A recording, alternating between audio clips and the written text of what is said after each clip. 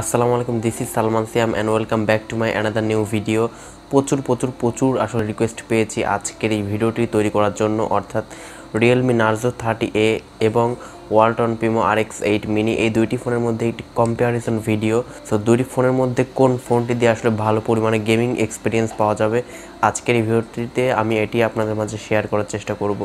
So অবশ্যই ভিডিওটিতে একটি লাইক দিয়ে ভিডিওটি সম্পূর্ণ ওয়াচ করতে থাকুন। একদম শর্টকাটে আমি আপনাদের বোঝানোর চেষ্টা করব। আমি জানি আপনার প্রত্যেকের আসলে সময়ের অনেক মূল্য রয়েছে, তো সেক্ষেত্রে একদম শর্টকাটে আমি আপনাদের বোঝানোর চেষ্টা করব যে দুইটি ফোনের মধ্যে কোন ফোনটি আসলে আপনার নেওয়া ঠিক হবে গেমিংয়ের জন্য। চ্যানেলে নতুন দর্শক হয়ে থাকলে অবশ্যই সাবস্ক্রাইব করে আমাদের সাথেই থাকবেন। সো চলুন আর কথা না বাড়িয়ে শুরু করা যাক আজকের ভিডিও সবাইকে ওয়েলকাম ব্যাক প্রথমে দুইটি ফোনের কিছু কনফিগারেশন আমি তুলে ধরছি এখানে। তো প্রথমে আমরা রিয়েলমি নার্জো থার্টি এ ফোনটির কনফিগারেশন নিয়ে আলোচনা করছি। তো এখানে কিন্তু সিক্স পয়েন্ট ফাইভ ইঞ্চের একটি এইচডি প্লাস রেজলিউশনের আইপিএস ডিসপ্লে ব্যবহার করা হয়েছে, যার রেজলিউশন সাতশো বিশ ইন্টু ষোলোশো পিক্সেলসের ডিসপ্লে কিন্তু ব্যবহার করা হয়েছে। ফোনটির ব্যাক সাইডে মেইন সেন্সর হিসেবে থাকছে, তেরো মেগাপিক্সেল একটি ক্যামেরা অ্যান্ড ফ্রন্টে সেলফি ক্যামেরা হিসেবে এইট মেগাপিক্সেলের ক্যামেরা আপনারা পেয়ে যাচ্ছেন। এবং ফোনটির ব্যাটারি সেকশনে কথা বলতে গেলে এখানে কিন্তু ছয় হাজার মিলি এমপেয়ারের ব্যাটারি কিন্তু ব্যবহার করা হয়েছে। ফোনটির প্রসেসর সেকশনে রাখা হয়েছে মিডিয়াটেকের হেলিও জি এইটটি ফাইভের একটি প্রসেসর এখানে ব্যবহার করা হয়েছে।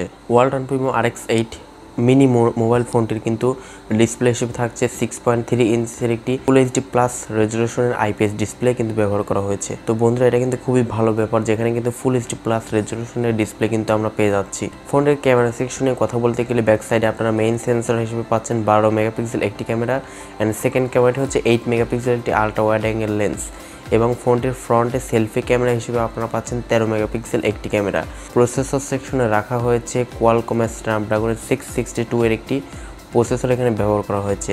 অ্যান্ড ফোনটির ব্যাটারি সেকশনে কথা বলতে গেলে এখানে ছত্রিশশো মিলি এমপিআরের ব্যাটারি কিন্তু ব্যবহার করা হয়েছে।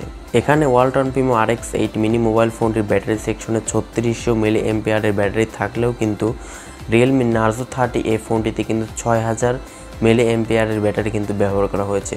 তো ব্যাটারির দিক দিয়ে অবশ্যই কিন্তু রিয়েলমি নার্জো থার্টি এই ফোনটি কিন্তু এগিয়ে থাকবে।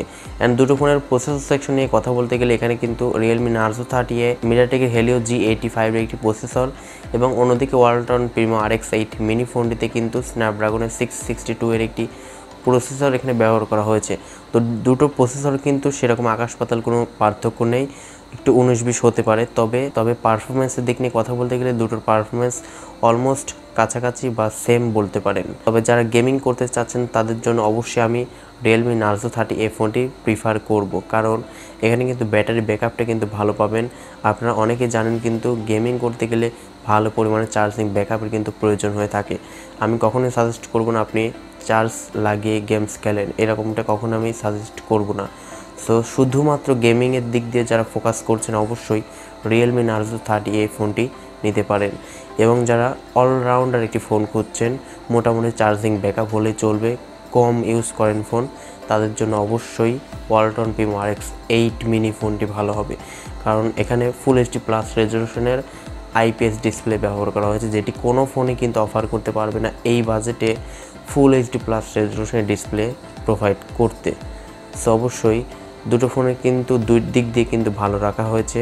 শুধুমাত্র গেমারদের কথা টার্গেট করে আমি কিন্তু রিয়েলমি নার্জো থার্টি এফ ফোনটি সাজেস্ট করেছি। কেননা গেমিংয়ের জন্য অবশ্যই ভালো চার্জিং ব্যাকআপের প্রয়োজন হয়ে থাকে, যেটি কিন্তু কখনোই Walton Primo R X eight mini ফোনটি আপনাকে প্রোভাইড করতে পারবে না।